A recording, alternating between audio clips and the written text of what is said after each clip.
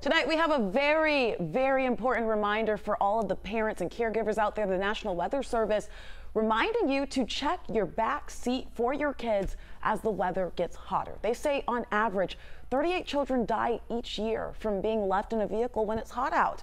88% of them are just babies under three years old. About 50%, excuse me, 54% were forgotten by a caregiver. So you want to remember to look before you lock. Roughly a third of the deaths happen in the summer months, but the NWS says they've happened all months of the year. It's important to be on guard, even if it's not that hot out. You don't want to leave the kids in the car. Car deaths can still happen, even when it's only 70 degrees outside.